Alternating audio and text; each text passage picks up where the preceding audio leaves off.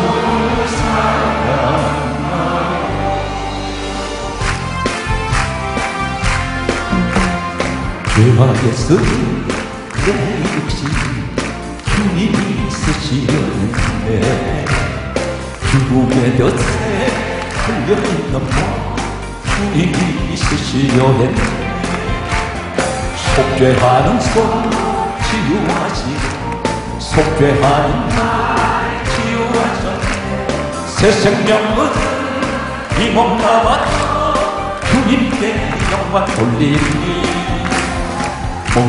취한 내 육신 주님이 이게 하셨네. 십자가 보혈 증거하라고 주님이 살리셨네.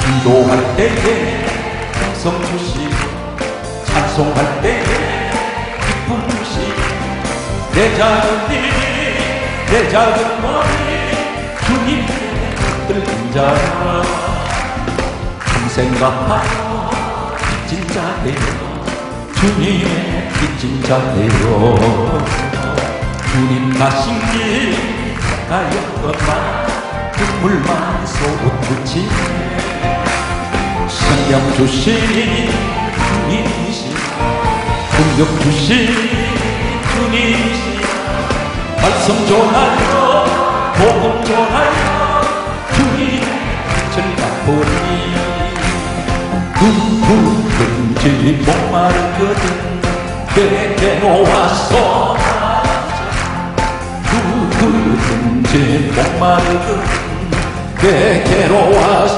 주여 나를 믿는 자 성경의 이름과 같이 그 배에서 생수에가 흘러나 누구든지 예수 믿으며 구원을 흔들리고 누구든지 예수 믿으며 구원을 얻으리고 나를 믿는 자 성경의 이름과 같이 그 배에서 생수에가 흘러나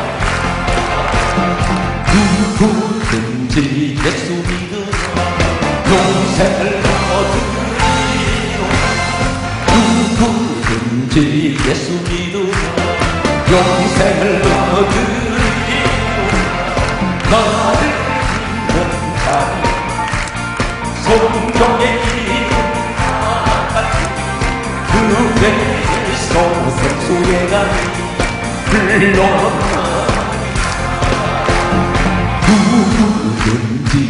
예수 믿으며 기쁨을 얻으리로 누구든지 예수 믿으며 기쁨을 얻으리로 나를 믿는 자 성경의 같이 그 배에서 생수의 강이 흘러나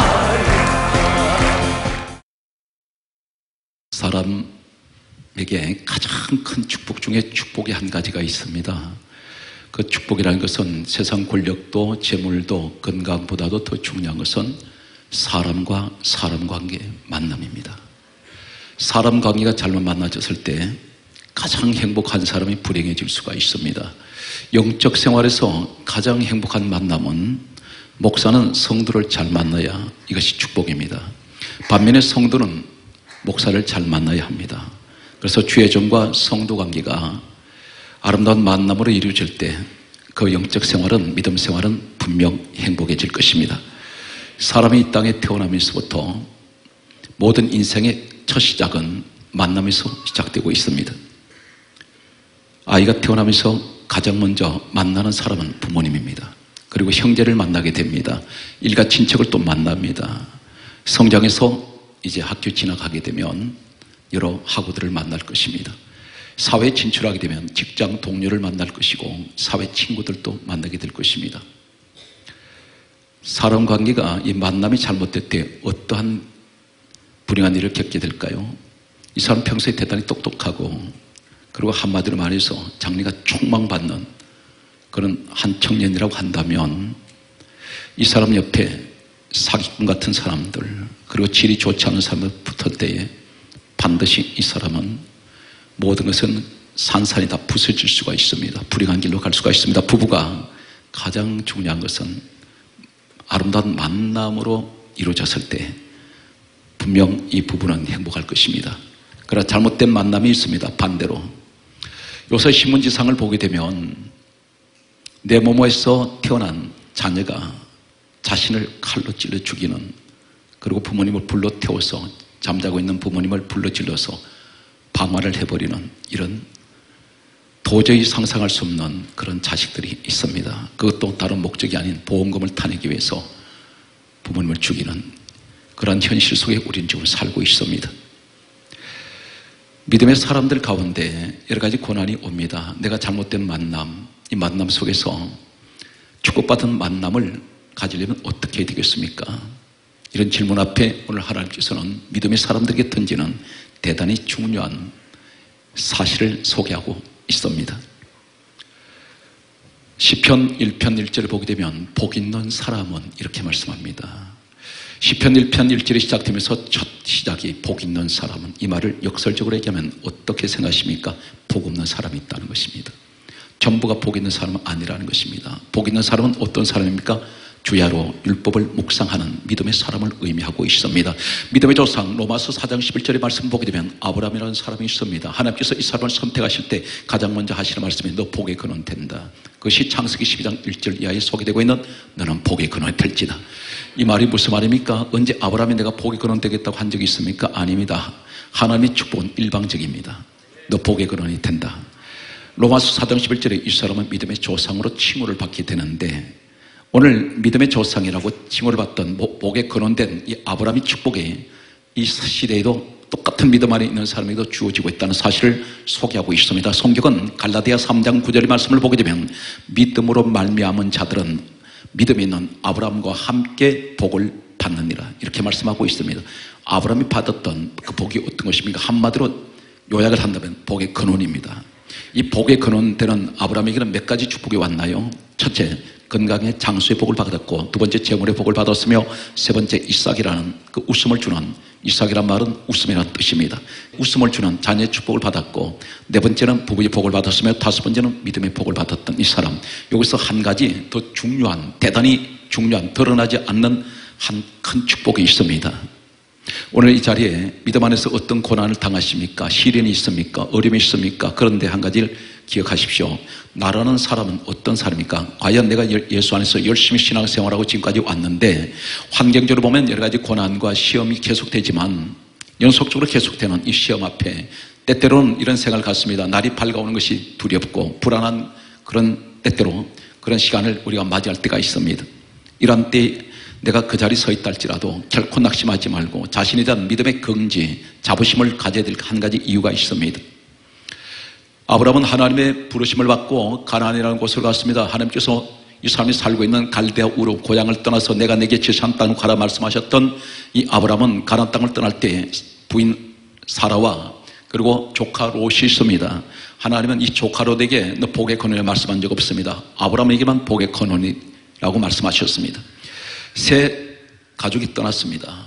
떠났을 때에 이 아브라함은 빈손으로 갔습니다. 아무것도 가진 것 없고 75세 나이에 이때 사라 나이가 65세였으며 젊은 청년 조카 롯이 같이 갔습니다.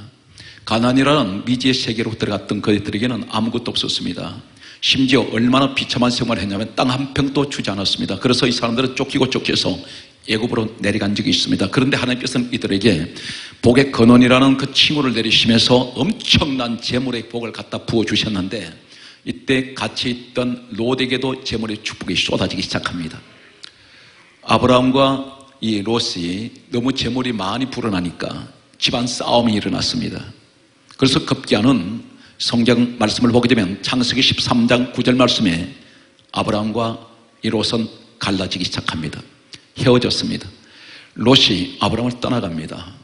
그가 택한 곳은 소돔이라는 곳이었습니다. 하나님이 나중에 불심판 내리는 이곳을 택해갔던 이 롯은 누구 때문에 자신이 이렇게 복을 받았으면 누구 때문에 내가 여기까지 왔는지를 망각해 버렸습니다.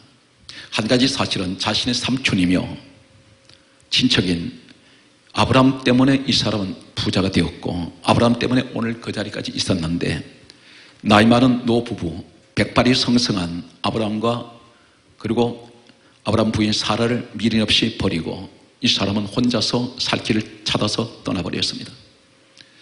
아브라함 입장에서 볼 때는 대단히 가슴 아픈 상처를 남게 됩니다. 그래도 유일하게 하나 남아있는 조카가 나를 버리고 떠나갔다는 생각 앞에 얼마나 섭섭했는지 모를 것입니다. 서운했을 것입니다. 그리고 배신을 했다고 생각할 것입니다.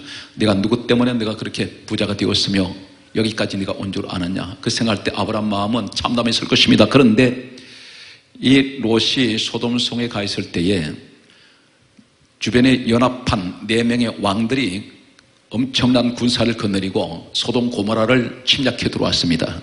이곳에 살고 있던 롯은 가족들과 함께 포로로 잡혀가게 되었고 모든 재벌은 다 약탈당했습니다. 이 소식을 접했던 아브라함은 이 롯을 과거의 행적을 생각한다면 도와주지 않을 수 있습니다. 그런데 창세기 14장 14절 말씀 보게 되면 이 사람은 자신의 집에 일하는 일꾼들 318명을 데리고 백발의 노인 이 아브라함은 적진식으로 뛰어들어가서 목숨을 걸고 이 롯의 가족을 구출해냅니다. 그리고 다시 재물도 찾아서 이들을 다시 소돔에 데려다 주었습니다. 시간이 흘렀습니다. 하나님이 소돔성을 심판하실 때 유황불로 심판하시는데 성경은 말씀은 이렇게 말씀합니다. 장세기 19장 29절 말씀을 보게 되면 여호와께서 아브라함을 생각하사 롯을 엎으시는 중에 다시 말해서 소동성을 불심판하시는 중에 아브라함을 생각하시고 롯을 그 엎으시는 중에 내어 보내셨더라. 이렇게 말씀합니다. 하나님은 롯을 생각하지 않습니다. 누구를 생각합니까? 복의 근원 되는 사람. 믿음의 사람을 생각하시고 이 롯을 구출해 주셨습니다 구원해 주셨습니다 무엇을 말하는지 아십니까? 하나님은 이 시대에 누구에게 관심 두는지 아십니까? 믿음의 사람에게 관심 둔다는 사실입니다. 갈라디아 3장 9절을 다시 강조합니다.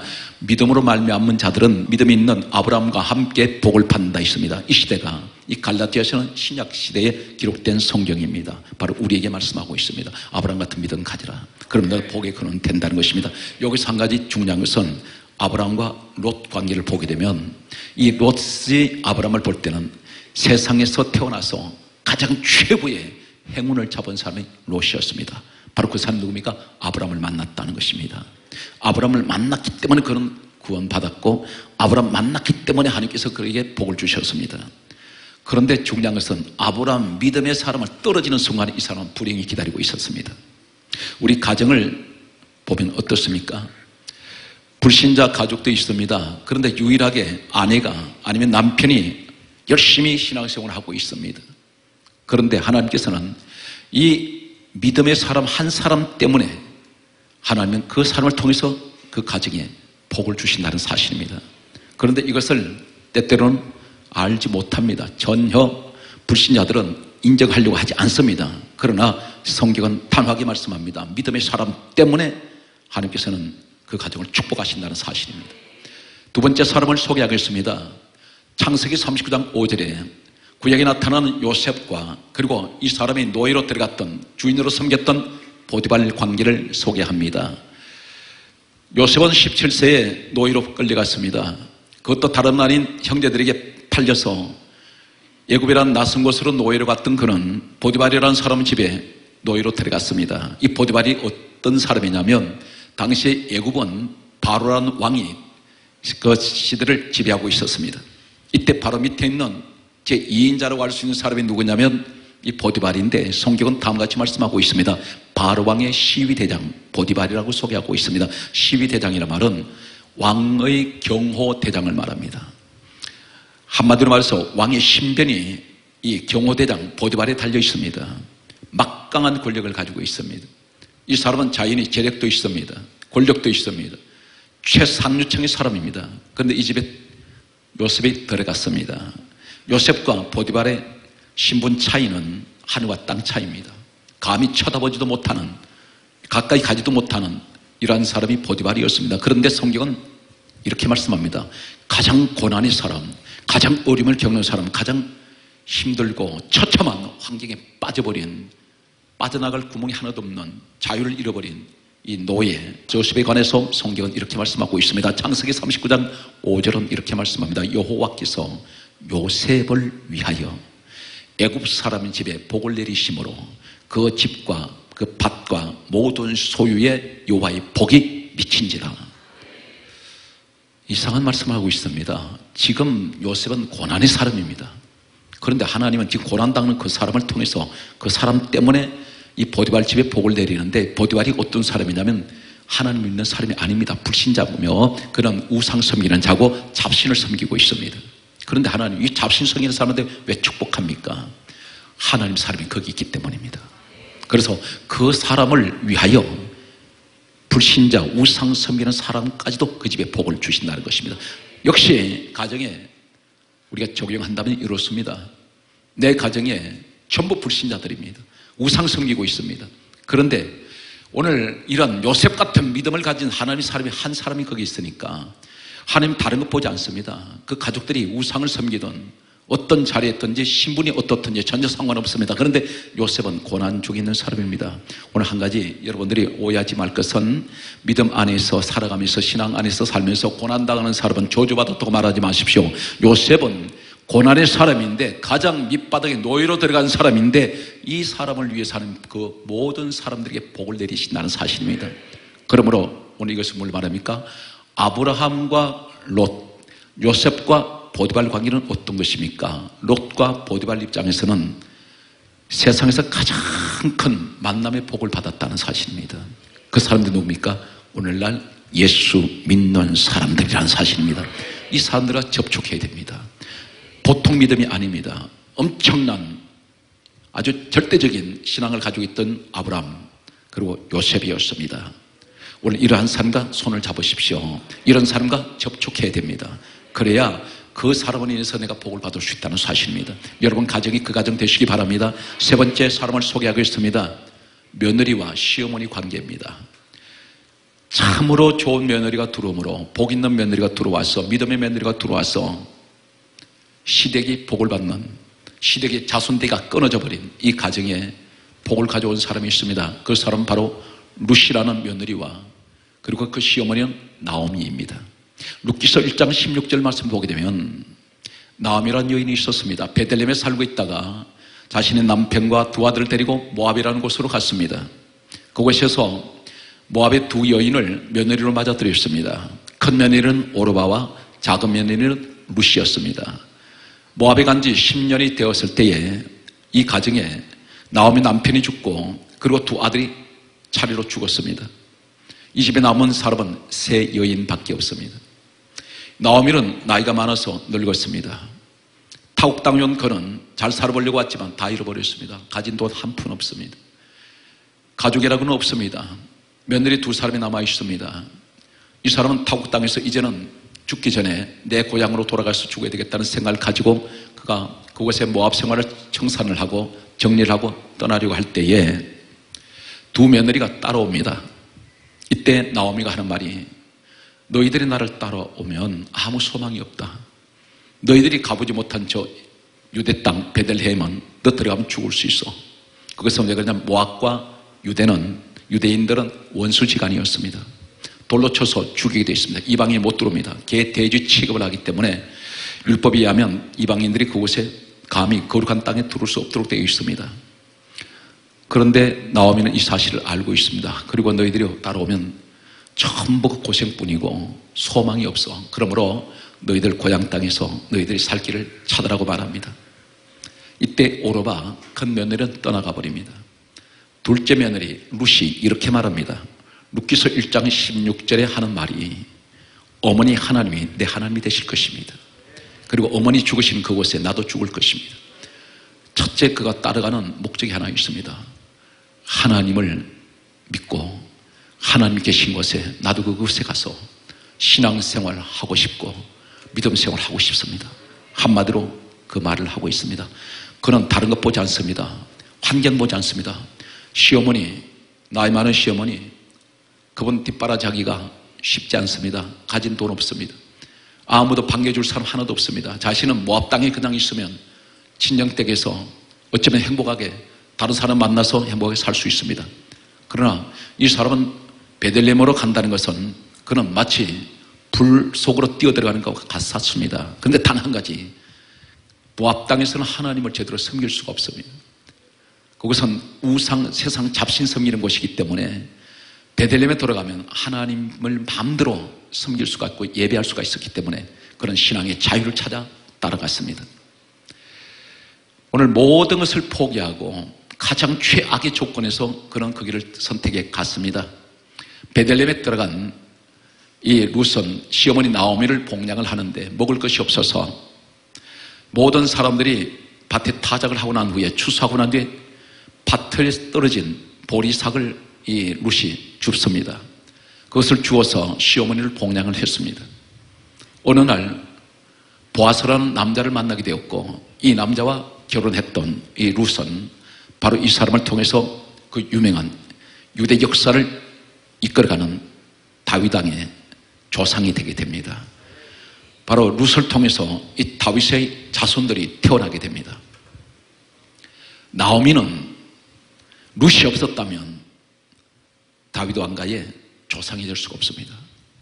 비참하게 살아갔을지 모릅니다. 이러한 며느리가 바로 여러분이 되시기 바랍니다. 환경이 최악이고 여러 가지 고난 가운데 환경이 놓여 있지만 내 시댁이 그렇다 할지라도 이 며느리 룩같이 다른 것을 목적으로 하는 것이 아니라 오직 내 신앙의 자유를 찾아 그 믿음을 지키고 끝까지 고난 가운데서 따라가는 이런 믿음 생활을 통해서 하나님은 결국 이 사람을 유대 역사에 길이 길이 남는 마태복음 1장에 보게 되면 예수님 족보에 이 룻이 기록되게 됩니다. 오늘 여러분 주인공이 되시기 바랍니다. 계속해서 네 번째 사람을 소개하겠습니다. 오늘 아브라함과 롯 그리고 또 요셉과 보디발 그리고 나오미와 룻 이 관계는 가장 중요한 만남의 복을 받았던 사람들입니다. 내게도 주여 이러한 만남의 복이 있게 아주 주옵소서. 네 번째 사람은 야베스와 그의 어머니 관계입니다. 어머니를 참 멋있는 어머니를 야베스는 두었습니다. 역대상 4장 9절 오늘 본문 내용을 보게 되면 성경은 다음과 같이 말씀하고 있습니다. 이 야베스라는 이름의 뜻이 성경적인 정확한 의미는 이렇게 기록되어 있습니다. 그 어머니가 수고하여 낳았다. 그리하여 그 이름을 야베스라 하였으니 이 말을 한마디로 하면 어머니의 수고란 뜻입니다. 어머니의 수고가 있어서 야베스가 있습니다. 오늘 여러분 가정은 어떻습니까? 믿음 생활에서 자녀를 둔 이 어머니 교회 와서 어떤 분이 됩니까? 내가 믿음으로 그리고 기도로 수고한 어머니, 믿음 생활로 수고하는 어머니, 기도 생활 수고하는 어머니, 봉사로 수고하는 어머니, 하나님을 위해서 헌신하는 어머니, 이 수고는 야비스 같은 자식의 복을 가져옵니다. 어떤 복을 받았을까요? 야베스가 능력 있다고 성경 기록한 적이 없습니다. 단 한 가지 그 어머니가 수고하여 낳았다는 이름의 의미만 있습니다. 이 야베스 아들이 역대상 4장 10절에 다섯 가지를 구합니다. 하나님께. 성경은 정확하게 다음같이 말씀하고 있습니다. 야베스가 하나님께 아려 가로되 원컨대 내게 복의 복을 더하여 주세요. 무슨 말입니까? 다른 사람이 받는 복에 복을 더해 주세요. 그리고 나의 지경을 넓혀 주시고 나의 지경을 넓힌다면 이 땅에서 무엇을 말합니까? 사회의 지경, 직장의 지경, 가정의 지경, 자녀의 지경 모든 것이 다 넓혀지는 것을 의미하고 있다고 볼 수가 있습니다. 세 번째는 주의 손으로 나를 도와주세요.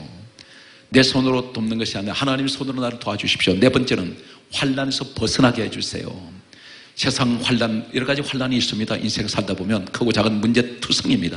이 환란에서 나는 벗어나게 해주시고 다섯 번째가 근심이 없게 하여 주옵소서. 내게 근심이 떠나가게 해달라고 했더니 하나님께서 성경 가운데합니다. 야베스가 구하는 것을 다 허락하셨더라. 누구 때문입니까? 야베스의 어머니의 수고. 오늘 사랑 손으로는 이러한 어머니가 되십시오. 반드시 그 자녀에게는 야비스의 축복이 주어집니다. 그래서 계속해서 이 만남의 복이라는 것이 어떤 것입니까? 복을 받을 수 없는 사람이 믿음의 사람에게 접촉했더니 반드시 그 복이 그 사람이 가더라는 사실입니다. 오늘 여러분이 그 주인공이 되시기 바랍니다. 다섯 번째 사람을 소개하겠습니다. 신약으로 성경은 넘어와서 예수님께서 이 땅에 오시고 난 후에 기록된 한 사건을 소개합니다. 요한복음 4장 46절은 말씀하고 있습니다. 왕의 신하가 등장합니다. 이 왕의 신하에게는 아들이 있었는데 성경은 강조하기를 이 왕의 신하 아들이 거의 병들어 죽게 되었습니다. 이 아들은 어디 있느냐면 가브나움이라는 곳이 있습니다. 예수님이 지금 어디 계시냐면 가나에 계십니다. 가나와 가브나움의 거리는 이틀길 거리입니다. 왕이 신합니다. 왕이 신하면 어떤 것을 말하나요? 권력이 있습니다. 재력도 있습니다. 세상에서 이 사람은 상주층의 사람이었을 것입니다. 백방으로 자신의 아들 고치기 위해서 수많은 약을 썼을 것이고 그리고 유명한 의사들을 찾아다녔을 것입니다. 그런데 이 아들은 계속해서 고칠 수가 없습니다. 불치의 병이었는지 모릅니다. 거의 죽게 됐다는 것은 이미 이 사람은 죽음 단계에 들어갔는지 모릅니다. 이때에 왕이시나 이 아버지가 이틀길을 걸어서 예수님을 찾아왔습니다. 그 당시에는 교통수단이 비행기나 자동차는 없고 사막을 가로질러서 가는 짐승을 이용하는 교통수단밖에 없습니다. 사막을 가로질러서 이틀길을 걸어온 이 왕의 신하는 지쳤는지 모릅니다. 그런데 예수님을 간에 계신 예수님을 만나는 순간 하는 말이 내 아들이 거의 죽게 되었습니다. 병들어 죽게 되었으니 내려오셔서 고쳐 주옵소서 할 때에 이틀 길을 그렇게 수고하고 왔는데 기진맥진한 상태에서 주님을 만났을 때 주님의 참마디 말씀이 가라 내 아들이 살았다. 이 말씀을 하세요. 도대체 실감이 나지 않습니다.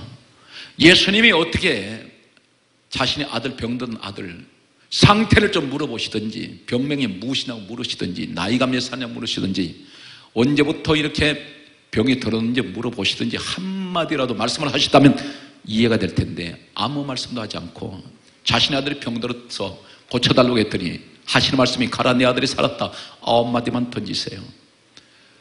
이 사람 어쩌면 화를 낼 수 있습니다. 믿음이 없는 사람이라면. 그런데 이 사람은 성경 이렇게 강조합니다 예수님이 하신 말씀을 믿고 가더니 믿었습니다 그리고 갔습니다 한마디 말하자고 돌아갑니다 이틀 길을 걸어서 그 이튿날 집에 도착했을 때에 하인들이 밖에 나와서 왕의 신하를 마중 나와서 하는 말이 아들이 살았습니다. 그렇게 말합니다. 왕의 신하가 묻습니다. 그때가 언제쯤이냐? 이렇게 물었을 때 어제 제 7시에 열기가 떨어졌습니다. 왕의 신하가 생각했습니다. 어제 제 7시라 하면 예수님께서 가나에서 이틀길 거리 밖에서 가라 내 아들이 살았다. 이 말씀하신 그때였습니다. 그래서 그 온 집이 다 예수를 믿게 되었습니다. 거의 병들어 죽어가던 이 아들은 살아났습니다. 저는 이 말씀을 생각할 때 이것이 꼭 성경 속에만 있는 사건이 아니었다는 사실입니다. 저희 교회에서 그 일이 일어났습니다. 여기서 기도했는데 미국에 있는 사람의 암이 치료되었습니다. 그런데 나중에 전화가 왔는데 그 친정 어머니한테 전화가 왔습니다. 친정 어머니 대신해서 가슴에 손 놓고 따님을 위해서 그 암을 치료해달라고 기도했는데 제가 강대사에서 선포할 때에 이때 그때 전화 집에 돌아갔을 때 전화가 왔는데 암이 치료됐다 했습니다. 그리고 언제쯤이냐 물었더니 바로 예배 시간에 기도받던 그 시간이었습니다. 지금도 방송에 인터넷에 들어가면 검색할 수가 있습니다. 우리에게 무엇을 말합니까? 믿음의 사람과 함께하면 왕의 신하 이 아버지 아들은 예수님 만난 적이 없습니다. 믿음이 없습니다. 그런데 아버지가 예수님 앞에서 믿음 가지고 나왔더니 아들이 치료된다는 사실입니다. 이 아들의 입장에서는 자신의 아버지가 일생 일대의 최고의 만남의 축복이었을 것입니다. 한마디로 말해서 이 아들은 우리 아버지 맞는 것이 행운이라고 생각할 수가 있습니다. 오늘 여러분 이 시간 여러분이 그 주인공이 되시기 바랍니다. 여섯 번째 사람을 소개하겠습니다. 마태복음 8장 5절 말씀을 보게 되면 마태복음 8장 5절에 다음과 같이 말씀하고 있습니다. 백부장이라는 사람이 있습니다. 이 백부장은 자신이 하인이 중풍병으로 지금 누워 있습니다. 수많은 하인들이 있었을 것입니다. 그 당시 백부장이면 로마 군대 지휘관입니다. 최소한 그 지역의 백부장은 살인관입니다. 지역 살인관인데 이 사람이 밑에 있는 사람들을 보낼 수 있습니다. 그런데 자신이 데리고 있는 하인 한 명 그 사람을 위해서라도 이 백부장은 예수님 앞에 나와서 머리를 조아리면서 이렇게 말합니다. 제 하인이 중풍병으로 몹시 괴로워합니다. 고쳐주소서. 이렇게 말할 때에 예수님께서 왕의 신하에게 하신 모습과는 다릅니다. 그때는 말씀만 하셨는데 하시는 말씀이 내가 가서 고쳐주리라. 같이 가자고 하셨습니다. 이때 백부장이 하는 말이 제 집에 오시는 것을 제가 감당치 못하게 사오니 다만 말씀으로만 하옵소서 그리하면 제 집에 있는 하인이 낫겠나이다. 여기서 말씀만 달라는 것입니다. 굳이 수고롭게 번거롭게 오시지 마시고 말씀하시면 치료될 것입니다. 대단한 믿음의 사람입니다. 그랬더니 예수님께서 하신 말씀이 주변을 돌아보시면서 이스라엘 중에 이만한 믿음을 내가 만나본 적이 없노라 이렇게 말씀하시면서 내 믿음대로 될지어다 그 시로 하인이 치료돼 버립니다 여기에 하인은 예수님 만난 적이 없습니다 여기에 축복의 근원이 누굽니까? 갈라디아 3장 9절 말씀 그대로 믿음으로 말미암은 자들은 믿음이 있는 아브라함과 함께 복을 받는다 했는데 바로 이 백부장이 믿음의 사람이었습니다 이 사람이 행운의 사람이었습니다 하인이 병들어 죽어가고 있는데 그 주인 되는 백부장이 믿음 가지고 나왔더니 우리 주님은 백부장 믿음 보시고 고쳐주셨습니다. 오늘 이 자리도 마찬가지입니다. 내 믿음 가지고 나왔더니 내 자식이 믿음이 없고 우리 가족들이 믿음이 없어도 나 한 사람 믿음 보시고 불신자 믿음 없는 사람 내 가족 치료해 주시고 문제 해결해 주시더란 사실이 오늘 이것이 중보의 믿음입니다. 오늘 이러한 만남의 축복이 있으시기 바랍니다. 그래서 이 지상에서 최고의 부모님이 누굽니까? 자녀가 볼 때 바로 믿음의 부모님. 그 부모님을 두고 계신 자녀들은 행복합니다. 가장 최고의 행운을 가지고 있는 사람입니다. 가장 세상에서 아름다운 만남의 축복을 받은 사람입니다. 오늘 여러분이 그 주인공이 되시기 바랍니다.